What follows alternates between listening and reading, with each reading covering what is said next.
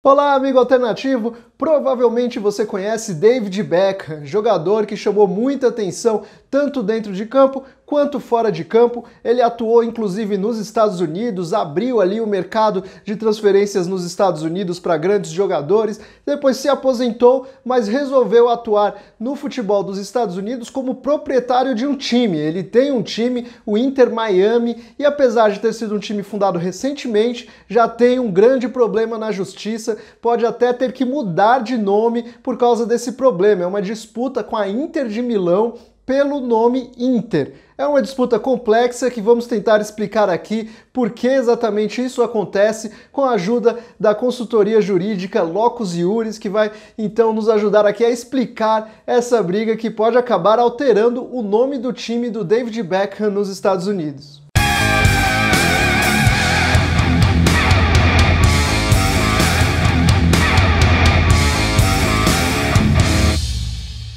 Primeiro é bom falar sobre a história do Inter Miami, mas não é uma história muito longa. O Beckham se aposentou em 2013 e sempre rolou o boato de que ele ia investir em, um, em algum clube dos Estados Unidos ou ia ter o próprio time, mas isso demorou realmente para se concretizar. O Inter Miami foi fundado de fato em 2018 e só começou a jogar na MLS na temporada passada, 2020. E aí conseguiu uma campanha razoável para um time estreante, se classificou, chegou a classificar para o mata-mata, mas foi eliminado na primeira primeira fase já de mata-mata e agora na temporada 2021 está tendo um começo irregular até o momento da gravação desse vídeo. Foram duas vitórias, duas derrotas e quatro empates. Então, uma campanha realmente de time iniciante, está iniciando, mas está chamando atenção pelas contratações. Contratou alguns jogadores é, famosos, em fim de carreira, veteranos já, mais famosos, é, Higuaín e Matuidi, ambos com passagens aí de destaque pela Juventus, por exemplo, e estão jogando por lá, é, realmente chamando atenção para o time do David Beckham. E como a Inter de Milão entrou nessa história? Acontece que em 2014, muito antes do Inter Miami existir, o time entrou com um pedido de registro no escritório de marcas e patentes dos Estados Unidos para ter o direito exclusivo de uso comercial do nome Inter nos Estados Unidos. Eles querem ter o direito exclusivo de explorar então comercialmente ali o nome Inter, e é claro que existindo um time Inter Miami, isso pode ser prejudicado. Para explicar essa questão, os dirigentes ali da Inter de Milão explicam que não pode existir uma Apple Miami. Existe uma Apple e esse nome é registrado e é utilizado pela Apple e não pode simplesmente ser criado uma Apple Miami. E essa história tem tudo a ver com o marketing da Inter de Milão tem mudado bastante ali a forma de utilização de marca da Inter de Milão. O clube tem preferido se chamar apenas Inter, que é óbvio, é um nome mais global do que Internacional, do que Inter de Milão, Inter Milano, enfim, qualquer outra marca. Eles têm tentado se chamar apenas Inter. Você entra no site lá, tem uma chamada apenas Inter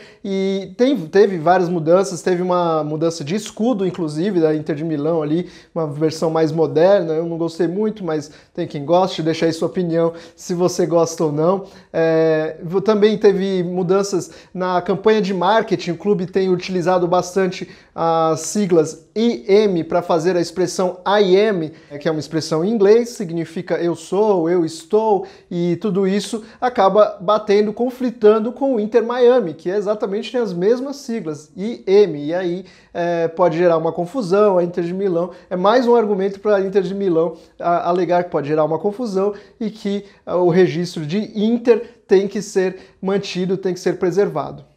Para se defender, o Inter Miami, representado pela MLS, alegou para o escritório de marcas dos Estados Unidos dois argumentos. Um dos argumentos já foi refutado em um julgamento, em uma decisão que saiu em dezembro de 2020, o juiz é, refutou o argumento. O argumento dizia que vários times utilizam esse nome Inter, inclusive nos Estados Unidos tem times de ligas menores que utilizam esse nome Inter, que é uma expressão comum do futebol e que por isso o Inter Miami poderia utilizar o juiz discordou, falou que, que, que na verdade está tudo errado, que a MLS já devia ter se preocupado com isso e que isso precisa ser organizado. Então, a Inter de Milão precisa ter o seu direito preservado. O segundo argumento utilizado pelo Inter Miami e pela MLS é que Inter é um termo descritivo, ou seja, descreve o time como internacional e, portanto, não é uma marca para ser registrada por algum time. Esse argumento provavelmente vai ser julgado só em janeiro de 2022,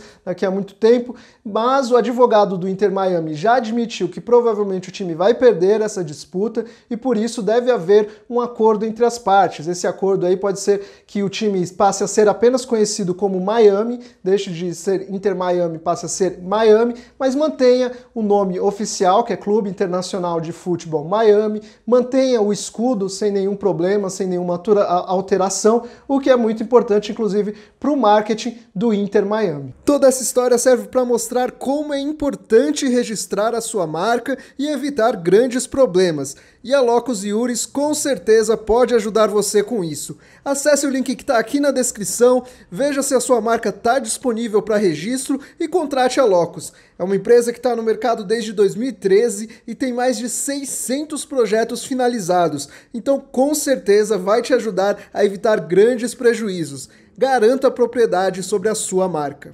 Agora não se esqueça de se inscrever no nosso canal, ative as notificações, acesse o link que está embaixo também para apoiar o nosso projeto lá no Catarse e ganhar benefícios por isso. E não esqueça também de deixar o seu comentário, entre em contato com a gente, a gente gosta muito da interação com os nossos amigos alternativos. É isso, até a próxima!